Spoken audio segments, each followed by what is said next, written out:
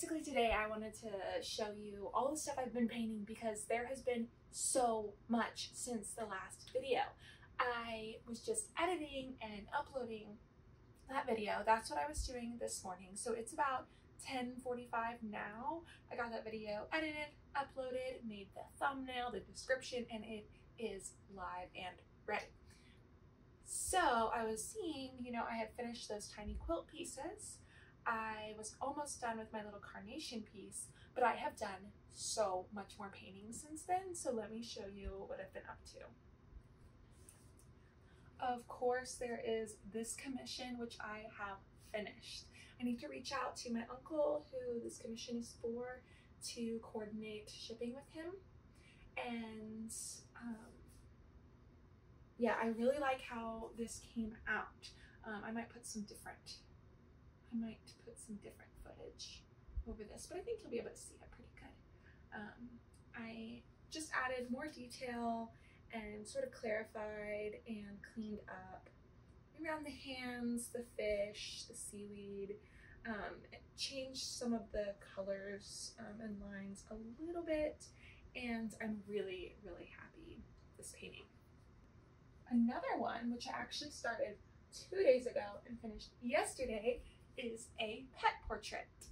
This one is going to be an example. I'd really like to open my pet portrait commissions again very soon. And so what I'm trying to do is create some examples and see how long they take me to make, what kind of qualities I'm getting, how they're looking to me, so I can get an idea of how to price them going forward because whenever I did pet portraits in the past, I did really small ones. Um, five by seven and eight by 10 were the two sizes that I would offer and I would do these as acrylic paintings on paper.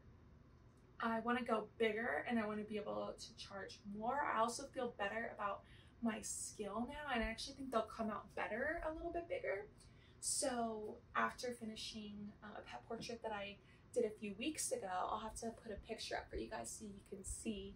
That one came out so nice and I would really love to be making more of those again.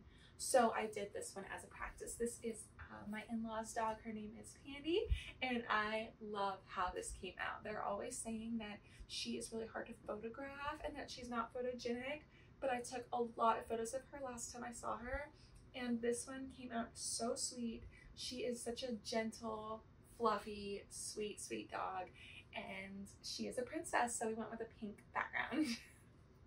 um, I'm gonna probably hold on to this one so that I can show it to people in person to use as an example and give this to this one whenever I have more or next time I go back to Baton Rouge. So that was yesterday. I actually finished both of those pieces and I started on this one which I'm sure you've been kind of eyeing. It's so bright and I love how this one's coming out. This one's super, super close to being done. I'd like to finish this one today. This one is based on a photo that I took of some flowers that my mother-in-law, Pandy's mom, uh, brought to us at some point whenever she came to visit and I loved the color of the tulips. I put them in this glass that we have and we have this colorful, not colorful, but like blue and white, like really textured, interesting, like backsplash and butcher block countertop. And I just loved the color and composition of this photograph. And I knew that I would turn it into a painting one day. And I've drawn it and I've kind of tried to make paintings of this photo before, but never really been satisfied with it. So I thought it'd be nice to just try to do a small one. And I'm so happy with this. I might do another one of this and do it even bigger. So really love that one. With my leftover paint from that piece, I made a tiny strawberry on paper. I don't think I'm gonna like sell this one or anything. The paper got a little bit messed up um, from taping it, but I just thought it was really cute, so I left it up here with this one. Wanted to show y'all, and then my next piece that I'm working on, I have just gotten started. So again, with the leftover paint, um, I created this beigey um, I don't know what you would call this color. Um, did a, did a not an underpainting, but I coated the whole canvas in that color to use that as my mid-tone. Um, this is based on a photo that I took at a wedding that I went to last summer.